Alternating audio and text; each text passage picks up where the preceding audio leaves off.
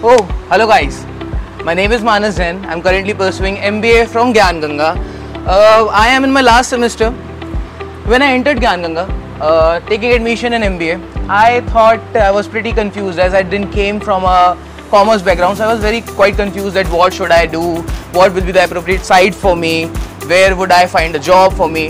But uh, with the help of the faculty, uh, the exploratory seminars, workshops that guided me throughout the path of finding a job in the domain I I didn't didn't even had an idea that I was capable about. So I finally, from the non-professional person to a professional person, the journey of MBA was very delightful and it was a glorious ride. So for everyone, I would suggest Gyan Ganga. You must prefer Gyan Ganga when thinking about any business school in Jabalpur.